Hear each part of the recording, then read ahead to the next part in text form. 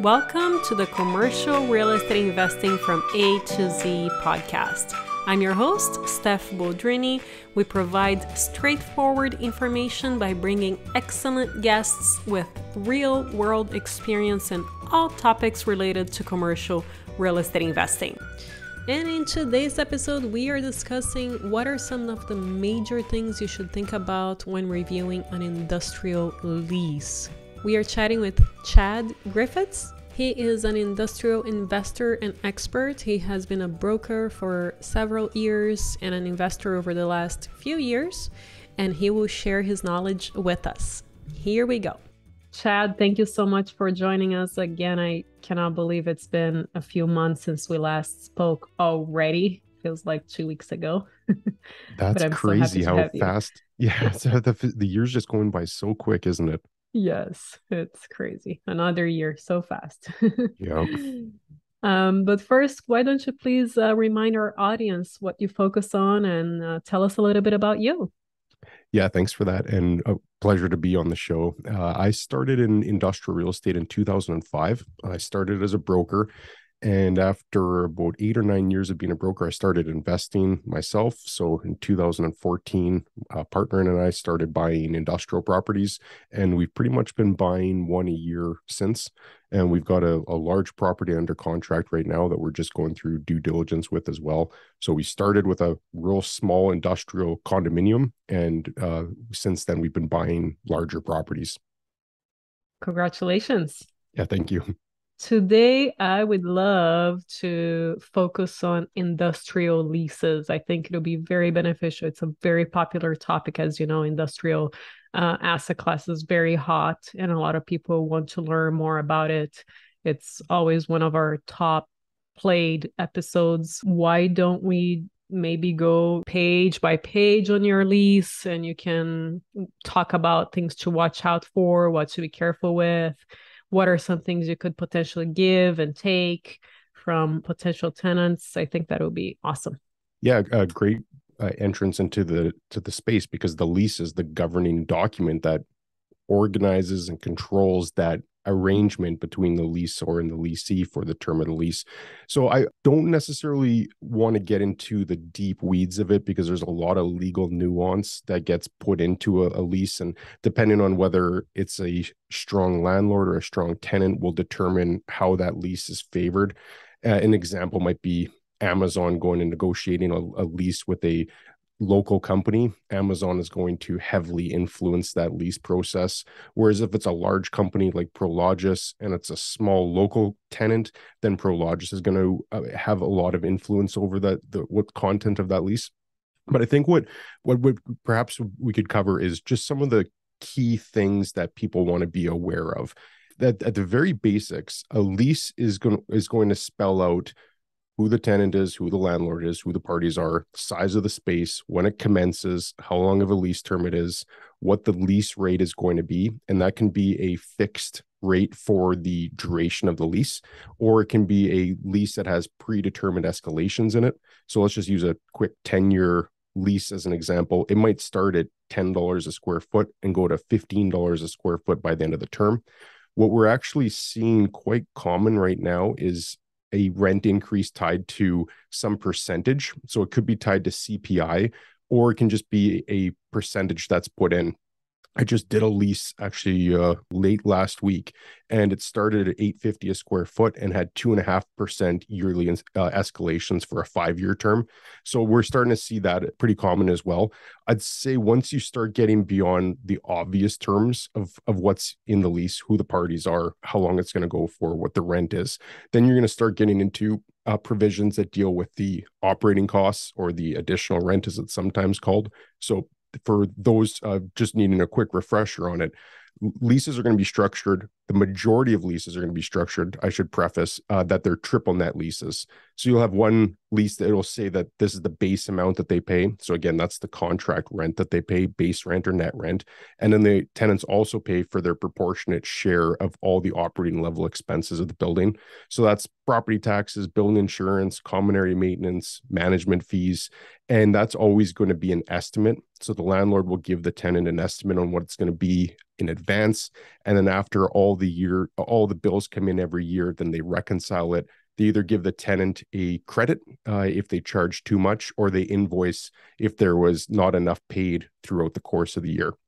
That language is probably the most important thing uh, in my mind as a property owner myself is you want to have it very clear that the that any increases in those expenses can get passed through to the tenant if it's if that late language is vague or not very clearly explained and it, it becomes contentious it might not be a big deal if it's a small lease like if it's a 5000 square foot lease and that discrepancies a few thousand dollars it might not be worth making an issue of but it, you can imagine some of these big distribution centers are approaching a million square feet.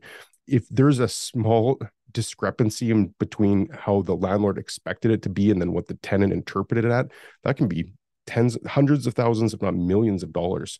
So i would say that when you're working through a lease whether it's through the eyes of a tenant or the eyes of the property owner it's imperative that that language surrounding the uh, handling of property level expenses and again that's usually called operating costs or additional rent.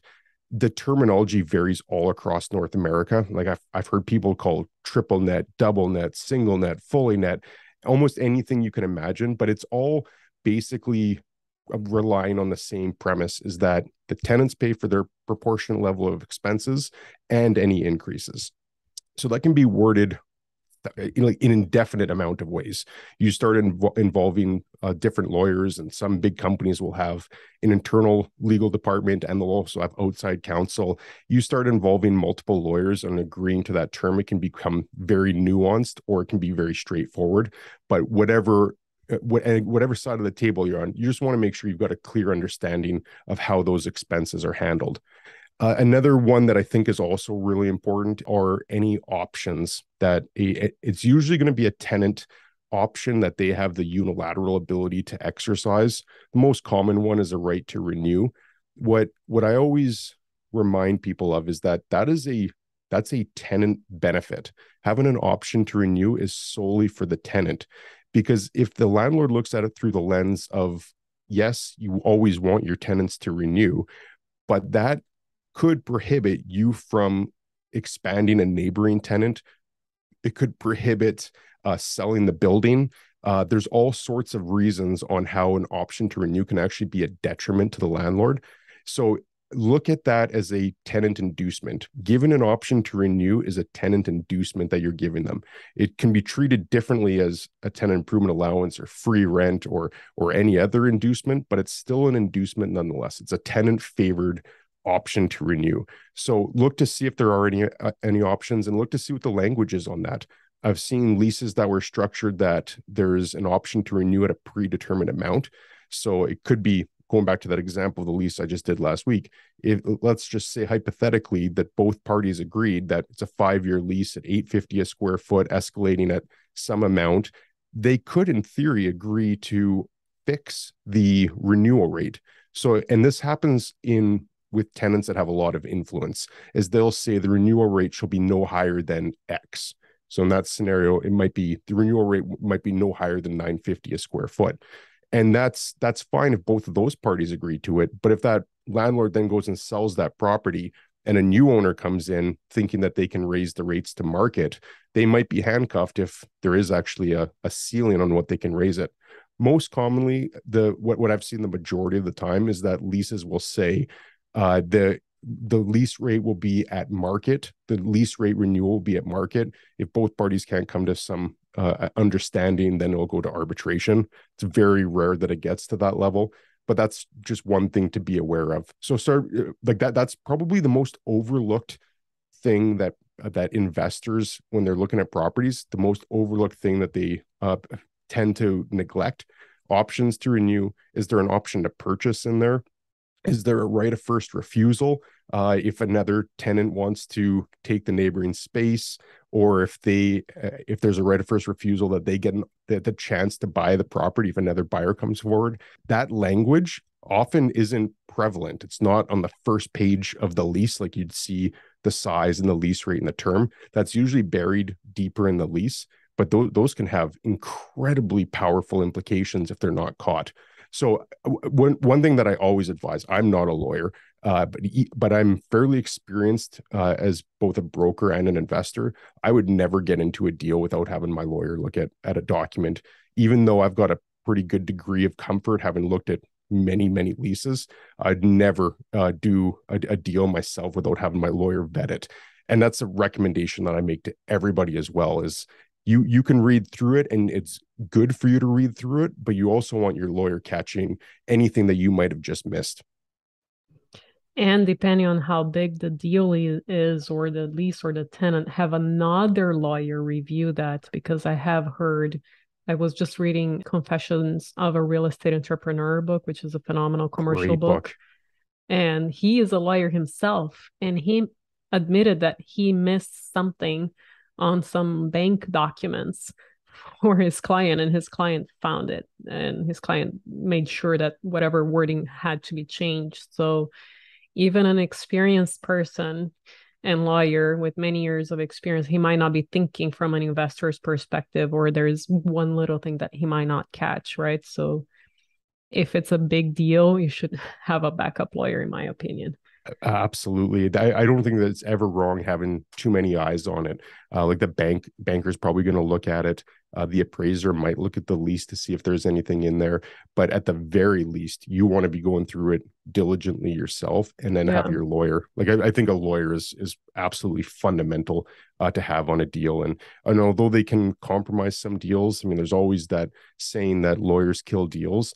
Uh, I, I, I err on the side that if, if they're killing deals, they probably should have killed the deal. There's probably something that wasn't uh, above par on there, or there was that term. There could have been that right of first refusal that nobody else caught.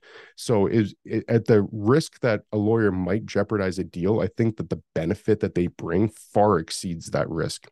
Mm-hmm. Absolutely. And like you were saying, you yourself should always read all of the documents. And that's another thing that he covered in that book that somebody went bankrupt because of uh, one technicality on one of his um, developments that he did not read and he let his lawyer uh, read because it was, I don't know, 100 page or something like that.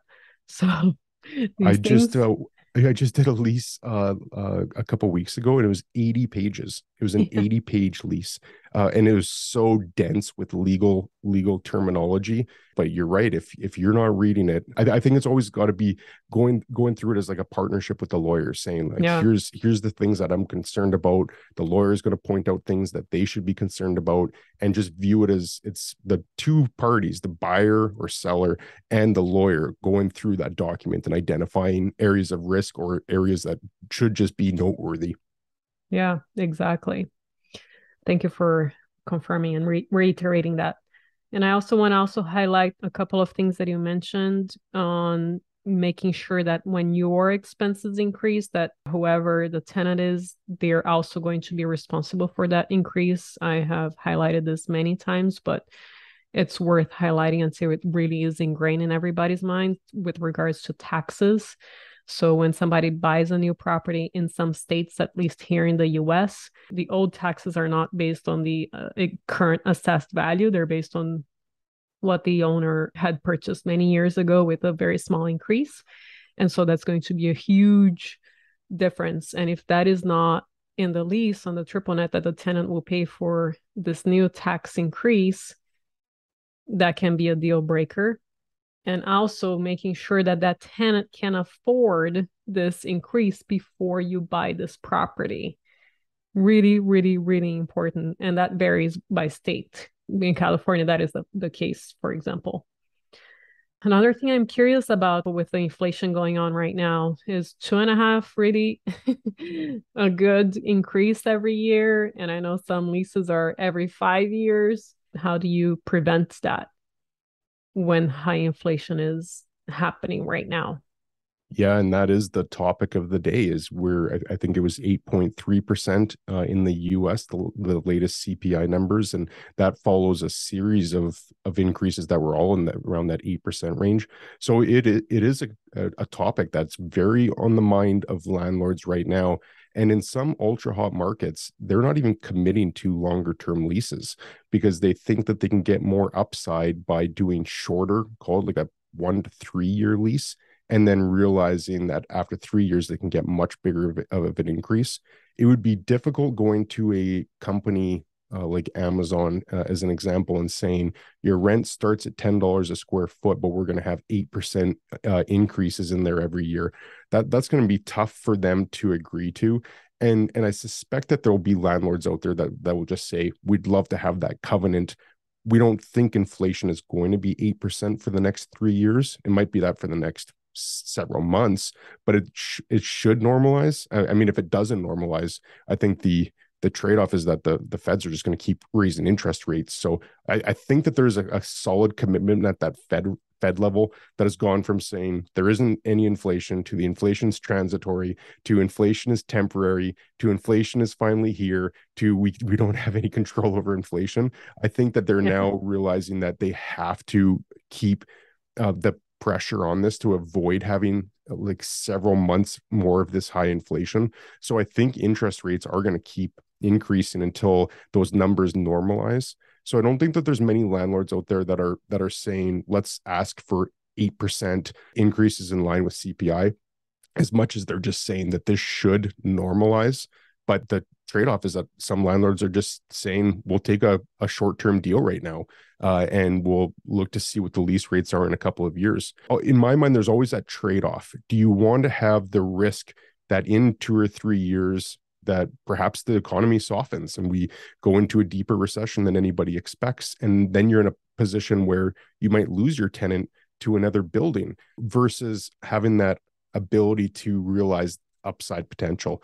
I mm-hmm. steer more on the side of I like the stability of knowing that I've got tenants that are going to be in there for some amount of time. And if I leave a little bit on the table, then that's that's the price of having peace of mind that the tenants are going to be there. Some landlords, especially institutional landlords, they might not take that same approach because it doesn't hit their pocketbook the same way if they lose a, a big tenant as it would for me. Everybody's going to approach it somewhat differently. Yeah. Whatever is important to you. Exactly. This is awesome, Chad. Is there anything else with regards to leases, industrial leases that people should really be mindful of for their investments? I, I think just going back to that original point, just make sure that you understand all the the little details. Uh, even insurance could be another one that becomes uh, a little bit more contentious. It varies market to market, but it used to be common uh, in my market that it was tenants had to have $2 million worth of insurance. And now almost every landlord has increased that to $5 million of insurance. And there'll be markets where I'm sure it's even higher for where prices are higher but just making making sure that that that insurance provision is correct. You're involving your insurance agent or whoever you use in that, but it's a lease really should be viewed as a document where a number of people have input into it. Uh, and the accountant might want to have input onto how some of these costs are handled. Your lawyer definitely needs to be involved in it. Your insurance broker is another one. I, th- I think so long as you're looking at this document it's it's governing a long-term relationship. I've always somewhat facetiously said that uh, some commercial and industrial leases last longer than a marriage uh, and these parties are are in this relationship together uh, but if they don't really understand what that relationship says if the lease just goes according to plan and the tenants pay their rent through the whole duration of the lease and there's no problems with it that document will sit in a file uh, on your computer and you'll never even think about it where that lease becomes so important is if there is a problem. That's how i approach it from a, a property owner level is i want to be prepared and confident that that that document is going to uh, prevail in the sense if something does go wrong. You're always hoping that nothing does go wrong but that's why we have insurance. That's why you have a lease. What happens if the tenant stops paying rent? What are your rights of remedy? Uh, there's there's all sorts of things that have to go in there if something goes wrong. And that's that's perhaps one way to look at that document is the emergency guide on what you can do if something bad happens. If the lease goes according to plan you know what your rent is. You know that the, they're paying for any increases. You know that uh, that they're staying for some amount of time. If they have an option to renew there's language on when they have to give you notice. That's fine. You know all of that. And if the lease goes according to plan you'll maybe never look at that lease again But as soon as something goes wrong, there's a fire in the building, or we run into an uh, an epidemic where some tenants are forced to close down. Well, what what happens in those scenarios? And if you look at it from that emergency break glass if emergency type of situation and you have to dive into that lease you just want to make sure that it's not silent on some of these topics because if it is silent and it goes before a court you're at the mercy of either either the judge or whoever's going to make the decision on it. So I, that's how i view it is just making sure you're protected. If something goes wrong you know kind of knock on wood figuratively that nothing does go wrong but things do. It happens. It's it's business. Exactly well, Chad, thank you so much for coming back and sharing your wisdom with us. I really appreciate it. How can our listeners get in touch with you? Uh, I love talking about this stuff. So I've got a, a, YouTube channel where I just talk about industrial real estate. So if they just uh, go and check that out, that's uh, probably the best. Uh, or I'm active on LinkedIn as well. So either YouTube or LinkedIn would be great. What is the name of your YouTube channel? It's just my uh, first last name, Chad Griffiths, uh, C R E. But if you just search industrial real estate on YouTube, I've, I've got a lot of content out there. So I'm sure you'll stumble across one of my videos. And we'll make sure to put that on their show notes. Thank you so much, Chad. I really appreciate your time. Yeah, great discussion, Steph. Thanks again for having me on.